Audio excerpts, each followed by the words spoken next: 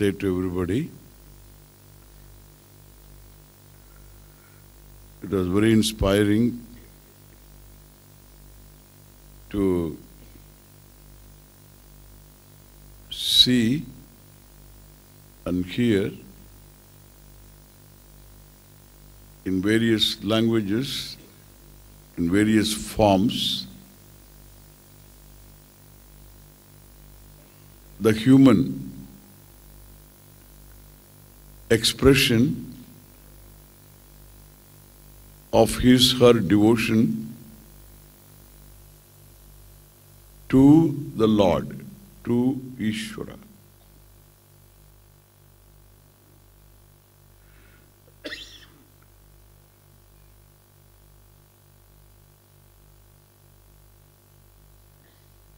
I don't know why some people are so committed to destroy these forms. I don't know.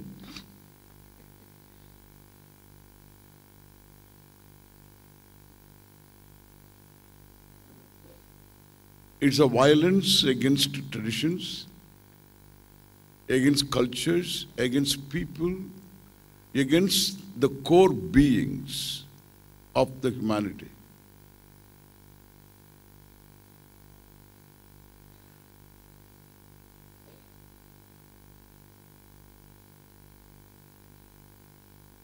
When you are born, your parentage is given. The place of birth is given. Time of birth is given. The body is given, male, female. The environment is given. The scheme of things, the galaxies, systems, forces, laws, contemporary people, life forms, all are given. There is nothing that I as an individual can really create something new. That if I can make something, well, the possibility is given. Every software is a possibility. Every hardware is a possibility. It's given. And what is given has got to be has got to be protected, nourished, not distorted, and that is nourishing, I say. My body doesn't belong to me. There is a Sanskrit drama in which one's body becomes an object of dispute. Devadatta has his body. He claims this is my body. Then mother has a claim. I brought this body into this world. I brought this body up. His body belongs to me. The father gets into the box and claims 50-50. So I have, I have my own contribution to this body and therefore I should have 50% of the body. Then the fellow is married and his wife gets into the box. I am the better half of this fellow. If not better, at least the other half, I have got, I have got a claim over this body. The children represented by attorneys, well, so the attorneys, so claim, claim that the body belongs to these children until at least they grow up. The state can get into the box. The employer can get into the box. All the bacteria can get into the box. The potatoes can get into the box. All these cows and goats and unknown animals also can get into the box. Claiming this body as, as their own, their own, their own body, their own possession, their own, their own, uh, what you call, the, the, the, the person. Because the claimants have equal right. And therefore, the judge in the case got confused and he decided nobody has a claim over this body, including Mr. Devadatta. And therefore, he said, I am going to appoint a managing trustee. And the managing trustee must be able to know hunger when there is hunger, thirst when there is thirst in this body. If there is a back pain, he should know. The managing trustee should know. If there is a headache, the person should know. And therefore, all the bacteria became silent. All other people also became silent. Nobody came forward. Neither Mr. Devadatta came forward. he thought that if all these people have a claim over this body, I don't care. This is not my body. Well, the judge said, nobody has a claim, no doubt. Neither Mr. Devadatta has a claim when all others have a claim. But Devadatta occupies, in the scheme of things, a significant position place from where Devadatta is capable of knowing hunger, thirst, any pain occurring in this body, and therefore it is given in the scheme of things. This trusteeship of Mr. Devadatta, trusteeship for this physical body, and he has the significant position, and therefore I am appointing Mr. Devadatta as the managing trustee of this body. The extension of this story is every one of us is a managing trustee of what is given. The indigenous cultures, indigenous languages, indigenous forms, religious traditions are given. They are not created in history. They are given and they need to be protected. We are all managing trustees. Understand? We are managing trustees of these colorful cultures and which really enrich the human heritage. And in India, we have that kind of freedom to protect, and even the intruders, we allowed them to protect. In fact, India has got a culture and in which the majority of the people are Hindus, but then they are they feel they are persecuted by certain other intruding traditions. The only country in the world, so the majority would feel persecuted in as much as the majority seem to have a genius, a culture to accommodate. It has, it has that openness to accommodate. And all the indigenous cultures had that openness. And they were so open. now we have to find out. We have to find out where they are. They are so open. and we have to find out where they are. And we can meet them only in conferences like this. Very unfortunate we have allowed ourselves to be to be wiped out. And we are allowing ourselves to be wiped out. Without being violent, we can raise our voice in all conferences, in all situations, that we have a right to be what we are. The sun is sun, moon is moon, Moon doesn't want to become the sun, much less the sun wants to become the moon. Better they are as they are. Better we are as we are. We don't require to change you. You need not require to change us. May we enjoy and nourish, enjoy what we have and nourish each other. The, the balance, I don't know what is the meaning of this balance here, but nourish each other what we have. Devan bhavayatanena te devaha parasparam bhavayantaha paramavapsyata. It is given. And therefore you do what is to be done. You are in a position where you need to contribute what is to be done. Be a contributor. What is to be done is your contributor. At any given place and time, the script becomes very evident. This is what I have to do. Do what is to be done and acknowledge all the forces, all the devas. Let the devas do what they have to do. You do what you have to do.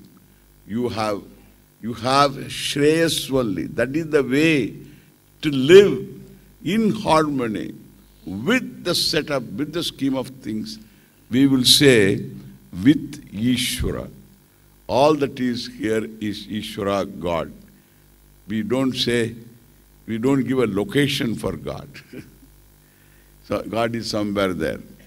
So we say all that is here is Ishvara.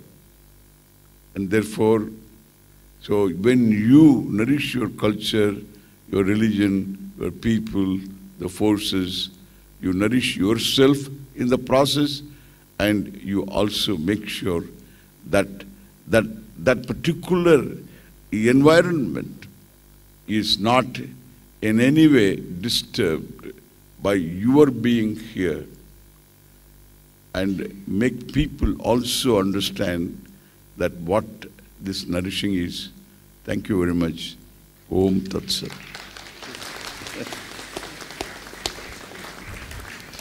We have been blessed with the divine words in the divine ambience, sitting beneath the divine souls.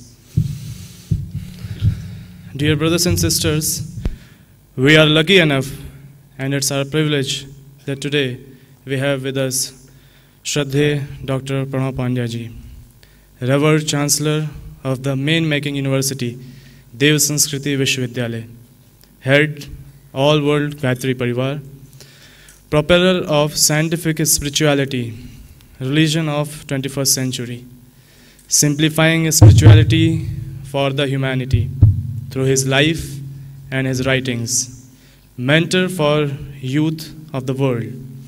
On behalf of the House, I would like to take the pleasure to request Shraddhe to kindly bless us with enlightened words. Shraddhe.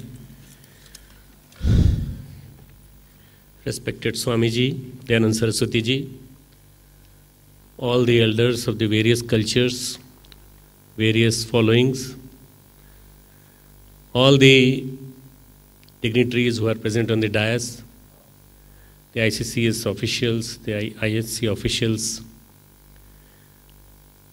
my dear brothers and sisters, let me say, my dear relatives. Today, we saw a very good combination of varieties of the prayers, varieties of the culture, varieties of the representation from the various walks of life of the whole universe. Our Indian culture says that this culture was throughout the globe. Sa Prathama Sanskriti Vishwara. This was the universe, universal culture. And everybody used to nourish this culture. Everybody used to nurture the culture. Nurturing the culture means the nurturing the ecosystem surrounding you, nurturing the traditions, nurturing the animal beings, nurturing the plants, nurturing the humankind. All of us have seen a lot of bloodshed in last so many years, violence in the name of religion, in the name of caste, in the name of creed, in the name of sect, in the name of gender.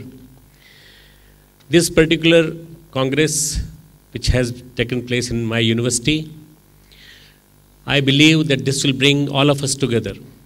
Not only all of us, but the traditions which are being followed by all of you. It will communicate a message to each and everyone that the global unity has to be at the cultural level. If at the cultural level we all are united, then there can no, never be any crisis of faith anywhere in the world. We are in the 21st century's second decade. And this particular century has seen, right at the onset of the 21st century, that is 2001, 2002, we have seen a lot of bloodshed. It has happened in USA, it has happened in India, and a lot of terrorism is happening everywhere. The prayers of peace are needed more and more.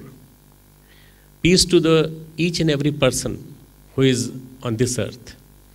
Pray, prayers for the peace to each and every being, be the animals. Prayers to each and prayer, prayers for the happiness to each and everyone through the proper management of the resources. Through the non warm climate, through the climate which is very friendly to each and everyone. And this can happen only through the nourishing the nature.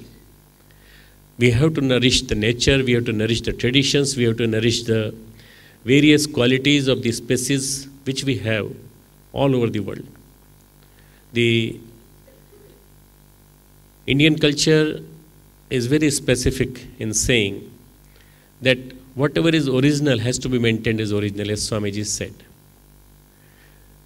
Religion word comes from R-E-L and G-I-O-N, rel, Gyan. It's a Latin word.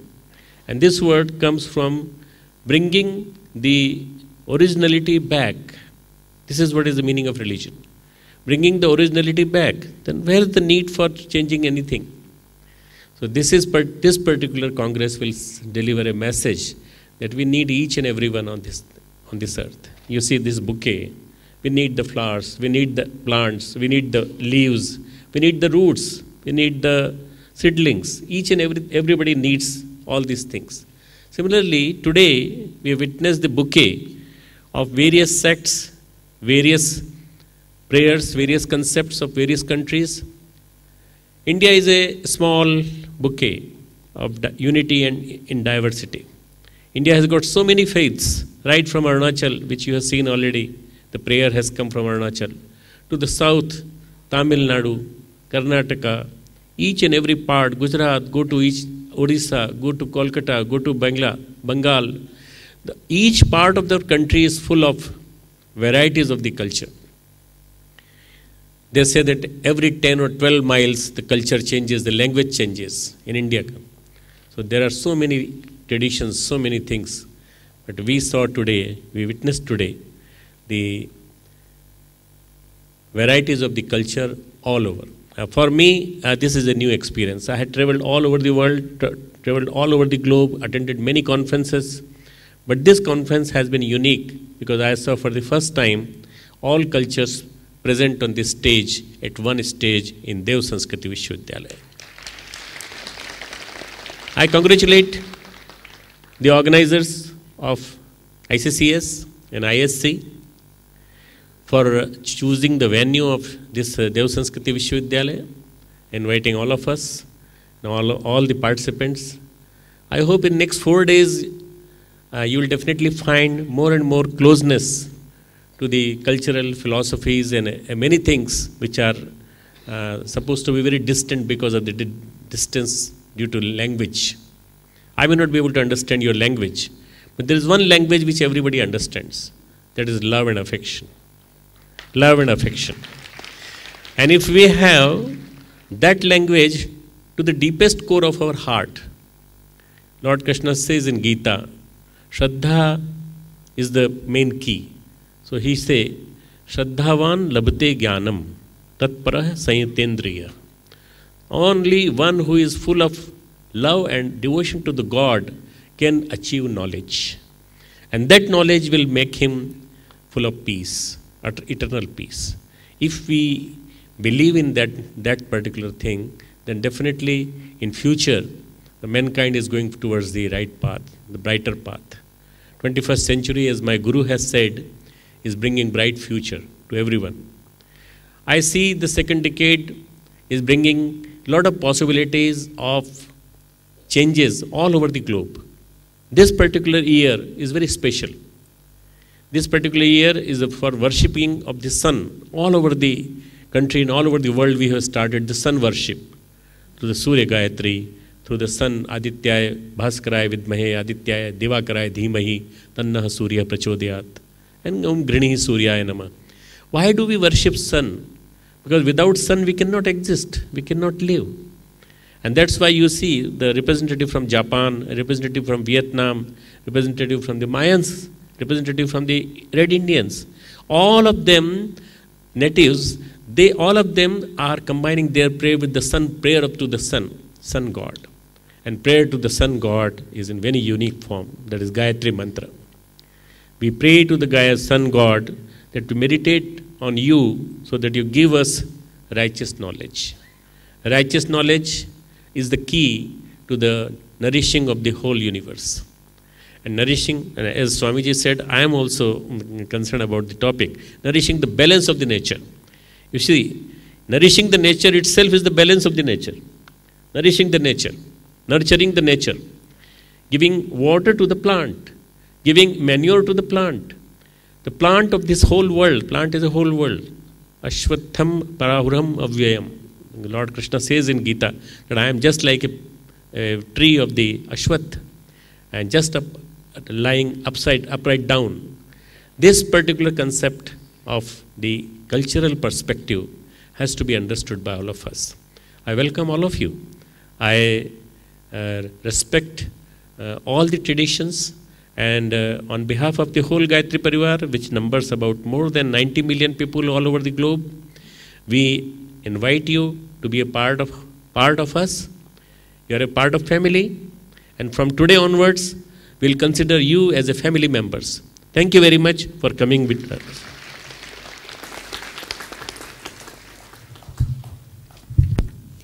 Thank you very much, sir.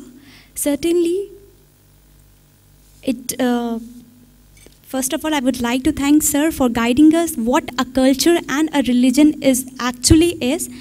And once uh, Dr. Saab has uh, said in his lecture that culture actually